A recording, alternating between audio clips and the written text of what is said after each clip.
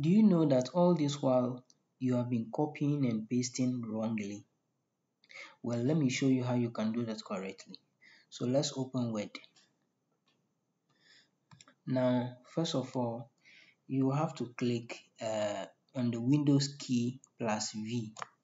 Then this pops up. So we are going to turn the clipboard on, just like on your phone, you have a clipboard. When you copy, you can get all the things that you have copied at a go. So turn it on.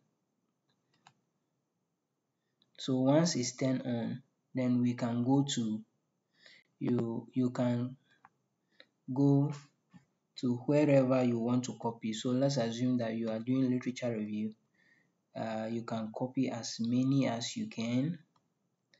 Uh, copy as many as you can. Alright. Then probably I'll go to uh, the second document here. Okay then I can copy as many as I can.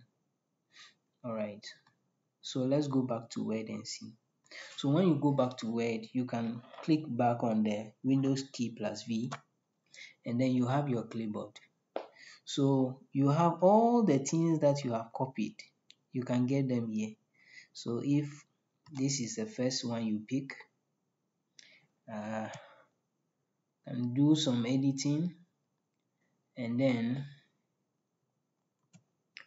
you can get the other items you have copied.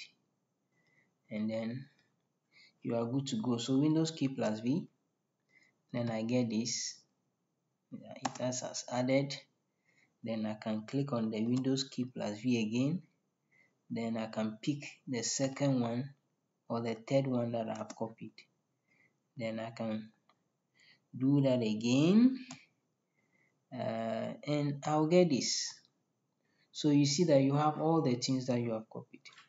Uh, if you have not subscribed to this channel, do that now and like this video. Ciao. See you in the next video.